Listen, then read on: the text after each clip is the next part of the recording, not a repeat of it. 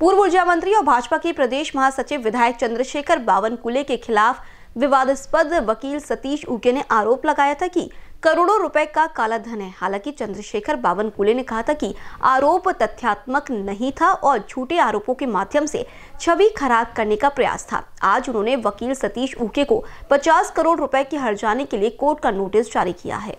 गौरतलब है कि बावनकुले इस संबंध में आपराधिक मामला दर्ज करने जा रहे हैं। चंद्रशेखर बावनकुले ने कहा, मेरे रिश्तेदार सूरज तातोड़े द्वारा लगाए गए सभी आरोप निराधार हैं और यह एक राजनीतिक साजिश रचकर हमें बदनाम करने का प्रयास है। बाइट।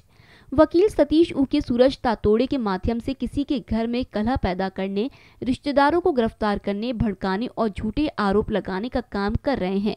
इसलिए आज उन्हें यह कोर्ट नोटिस भेजा गया है। कैमरा पर्सन राजकुमार मोहर के साथ क्षितिजा देशमुख बीसीएन न्यूज़ नागपुर।